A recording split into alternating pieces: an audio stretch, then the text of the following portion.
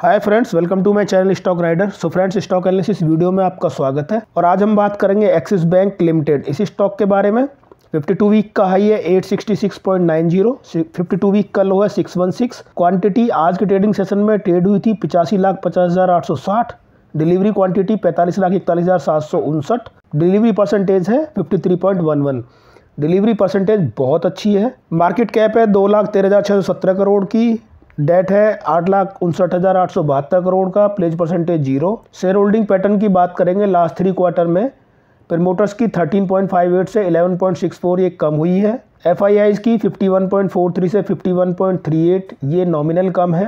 D की 23.27 से 25.32 ये बढ़ी है। पब्लिक यानी रिटेलर्स 11.72 से 11.66 ये कम है, लेकिन लास्ट टू क्वार्टर की कंपैरिजन में 11.55 से 11.66 ये बढ़ी है। ये है जी स्टॉक का वनडे का चार्ट वनडे के चार्ट में आ रहे सही 53 ये है वन वीक का चार्ट वन वीक के चार्ट में आ रहे सही 45 और ये है वन आर का चार्ट वन आर के चार्ट में R S I seventy six overall तीनों चार्ट में आर एस आई बुलिस है।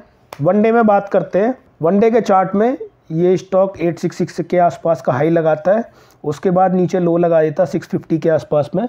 अब यहाँ पे देख रहे हो एक W pattern kind of form करने की कोशिश करेगा ये स्टॉक बट अभी यहाँ पे जो एक इसका कंसोलिडेशन जोन सा सात आठ दिन इसने कंसोलिडेट जोन बना दिया यहाँ पे।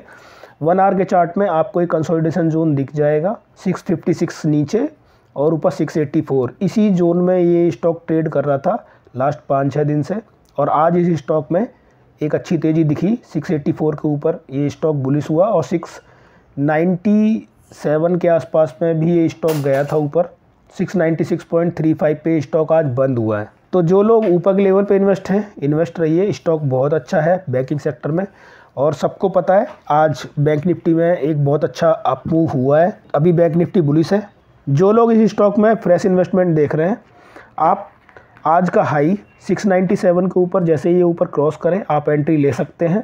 इसके ऊपर का जो फ़र्स्ट टारगेट होगा, वो 713 उसके बाद में 750 और उसके बाद में 790 ये इसके ऊपर के टारगेट्स हैं but as for the swing trade आप, मेरी स्ट्रेटजी जो है, वो सेम है three to five percent profit then exit तो जो लोग इसी स्टॉक में स्विंग ट्रेड के लिए देख रहे हैं वो लोग इस स्टॉक को अपनी वॉच लिस्ट में ऐड करके रख सकते हैं और अपना डिसीज़न ले सकते हैं आपको बाय करना है या नहीं करना है। वीडियो के एनालिसिस देख के आप बाय सेल मत कीजिए, आप अपने फाइनेंशियल एडवाइजर से कॉन्टैक्ट कर लीजिए। वीडियो सिर्फ़ एजुकेशन पर्पज़ के लिए है बाय सेल की रिकमेंडेशन के लिए नहीं है। सो so फ्रेंड्स ये थी इस स्टॉक की best analysis thank you so much